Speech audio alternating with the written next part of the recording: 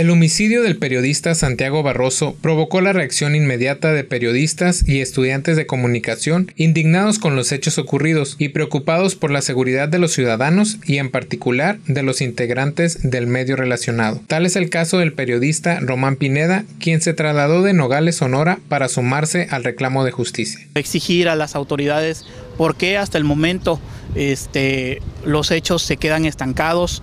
También lo comentaba por aquí la Asociación Internacional de Prensa de que el 99% de los casos se quedan impunes, eh, se denuncian, se hacen las quejas, sin embargo no hay una solución inmediata. Los estudiantes de comunicación dijeron sentirse consternados e inseguros ante un futuro incierto al momento de ejercer su carrera y reclamaron se encuentren a los responsables del homicidio. Pidiendo justicia y alzando la voz para que, para que más que nada que no nos cause temor el, futuramente estar dentro de este, de este gremio de periodistas en San Luis. Algunos periodistas de la localidad expresaron su sentir y exigieron al gobierno la resolución de los hechos. Nos consterna profundamente, tenemos eh, mucho dolor por lo que ocurrió y necesitamos que los tres niveles de gobierno eh, hagan algo por esclarecer este crimen y por dar un castigo a los responsables, un castigo ejemplar que, que no quede impune como muchos otros casos que hemos visto a nivel internacional y a nivel